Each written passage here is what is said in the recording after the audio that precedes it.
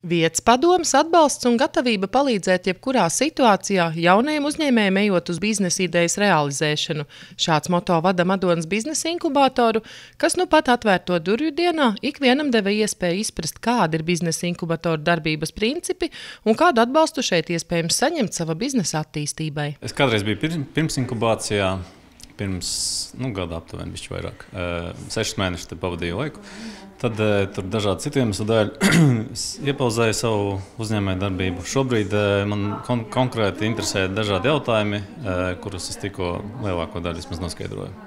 Es zinu, ka daudz izmanto tos pakalpojumu atbalstu.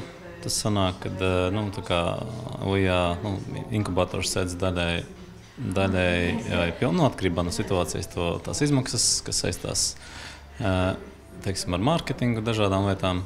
Bet ehm, tas, kas man interesē, ir konsultācijas un, un kontakti, tāda plašāka mēroga un eh, daži arī pakalpojumi, nu, pakalpojumu atbalsts. Respektīvi. Šīs dienas laikā mēs uh, aicinām cilvēkus eh, nākt uz inkubatoru.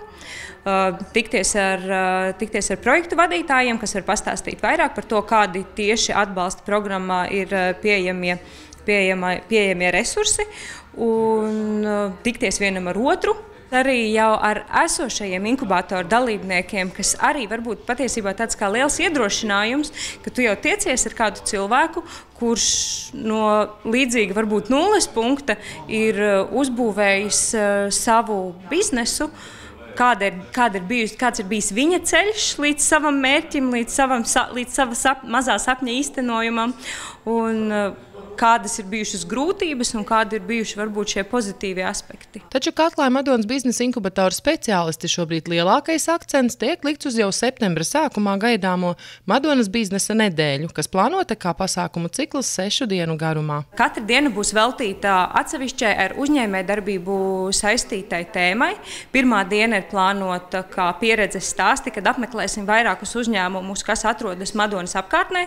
Nākamā diena ir plānota kā biznesa pieturas, kad būs iespējams uzzināt par dažādām uzņēmējdarbības atbalsta programmām, gan par pašu biznesa inkubatoru, gan par līderi, par altumu un par dažādām citām programmām. Arī Madona var labāk. Īpaša vieta biznesa nedēļā ierādīt arī šobrīd pasaulē tik aktuālajai ilgtspējas tēmai. Būs vairāki runātāji gan no Ilgtspējas institūta, gan, gan praktiski uzņēmēji, kas uh, savu uzņēmējdarbību ir ļoti, ļoti sasaistījuši ar ilgspēju un ar uh, planētas resursu netērēšanu vai taupīšanu. Savukārt, uh, nedēļa noslēgsies jau ar tādām nopietnām uzņēmējdarbības tēmām, kā praktiskais mārketings, eksporta spēja. Un pats eh, pašā, pašā nedēļas noslēgumā būs arī Madonas biznesa inkubātora dalībnieku tirdziņš. Jāpiebilst, ka šobrīd visos 15 Latvijas investīciju un attīstības aģentūras biznesa inkubatoros, tostarp Madonā, no 30. augusta līdz 20. septembrim tiek gaidīti jauni pieteikumi dalībai pirms inkubācijas un inkubācijas programmā. Sandra Zariņa Kārnas Kumsārs, Vidzemes televīzija televīzija.